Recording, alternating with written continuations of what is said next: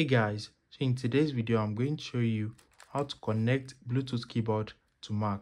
So if you have a wireless Bluetooth keyboard and you want to connect it with your Mac, let me show you how it is done. So the first thing is check around the keyboard and turn it on.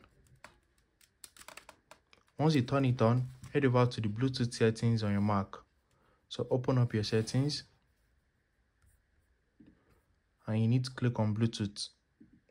After that, you are going to the keyboard right here. If the keyboard is not showing, let me show you how to put it in pairing mode. So this will work on most Bluetooth keyboard. But if your own, if your own is not working, just check the manual for help. But this will work on most Bluetooth keyboards. So look for the FN button.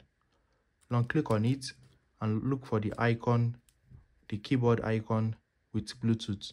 So this one has three because it can connect to three devices. So long click on FN on one of them and it will now put it in pairing mode.